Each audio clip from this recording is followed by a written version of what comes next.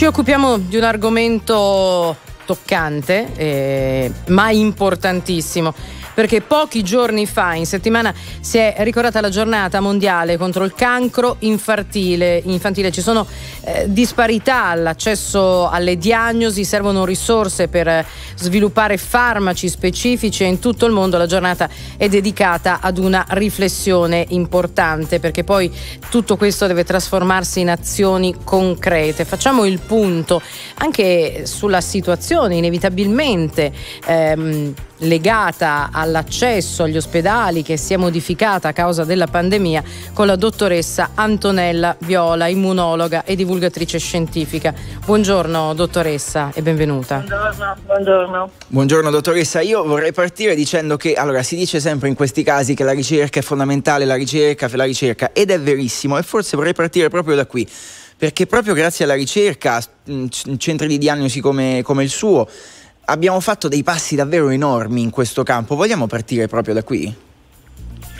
Beh, eh, sì, allora la ricerca è fondamentale. Pensate che eh, quando non c'erano farmaci, non c'era chemioterapia, non c'erano i trapianti no, eh, di midollo, non c'erano le terapie innovative, eh, la, la, essere, avere una, una, una, diagnosi per un bambino di, di, di, tumore era praticamente una condanna a morte, la sopravvivenza era bassissima, eh, siamo saliti lentamente da un 20%, eh, in, in summa oggi siamo arrivati a più dell'80%, siamo intorno all'85% dei bambini che eh, riescono a sopravvivere. Questo è stato grazie a cosa?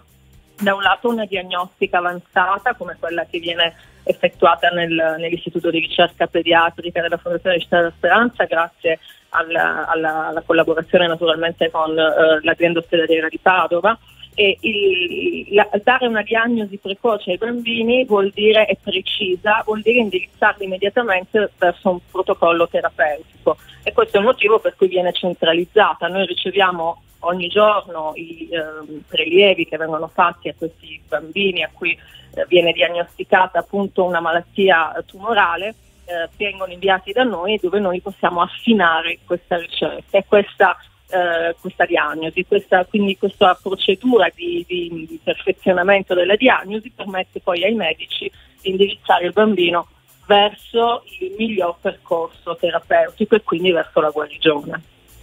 E, dottoressa, ad oggi quali sono le terapie che maggiormente riescono a fare la differenza? Beh, ovviamente tutte, no? nel senso che eh, è, è l'insieme dei, eh, del, delle conoscenze che si sono accumulate che ha permesso di arrivare a questa sopravvivenza, dicevo, intorno all'85%. Eh, quindi serve tutto, serve la chemioterapia, serve il trapianto, serve la radioterapia a seconda del tipo di tumore.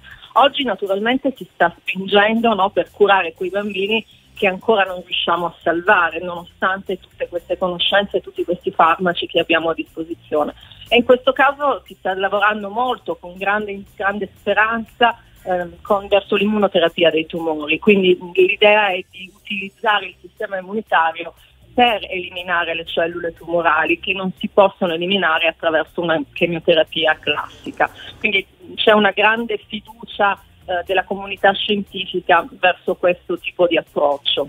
Ecco, dottoressa Viola, lo dicevamo in apertura, questi due anni di pandemia, lo abbiamo sentito da più parti, hanno costretto molte persone a rinunciare alle cure, cure, mi riferisco agli adulti ad esempio, a rinviare magari degli interventi che avrebbero potuto magari cambiare le sorti della vita di queste persone. Per i bambini è stato lo stesso? C'è stato un arresto delle diagnosi a causa della pandemia? No, non è, non è lo stesso per una serie di ragioni prima di tutto parliamo di numeri estremamente diversi, se lei considera più o meno in Italia ci, hanno, ci sono ogni anno 380.000 nuove diagnosi di cancro eh, nel, per quanto riguarda la fascia bambini e adolescenti, quindi fino ai 19 anni siamo intorno ai 2.000, poco di più. Quindi per fortuna sono numeri estremamente diversi. La seconda ragione è che mentre eh, la diagnostica, cioè la, il diciamo, gli screening, no? gli screening eh, di controllo sono fondamentali per la prevenzione del cancro dell'adulto, pensiamo al tumore della mammella con la mammografia, il PAP test no? per il, il tumore alla, alla, all'utero o la colonoscopia per il colon, eh, questi sono fondamentali e questi sono stati rallentati, per cui sicuramente sono state perse delle diagnosi che, sarà, che arriveranno sì. purtroppo eh, nei, nei prossimi mesi, nei prossimi anni. Però, nel caso insomma... del bambino nel caso del bambino non, non, funziona così, cioè non c'è uno screening che viene fatto no? eh, di, di, per, per, per, per, vedere, uh-huh. per fare una diagnosi precoce. C'è una cui... differenza, ecco sì. Tra l'altro noi speriamo che i dati che leggevamo in apertura insomma, su, su, come la pandemia in realtà stia, per fortuna la situazione nel nostro paese stia andando meglio, possono migliorare anche eh, questo aspetto, cioè le diagnosi appunto fatte in ritardo in eh, causa, causa, pandemia. Eh, dottoressa Viola, grazie per essere stata insieme a noi, torneremo a sentirci sicuramente presto, un grande in bocca al lupo a lei e al suo centro per il vostro lavoro. Grazie, grazie a voi.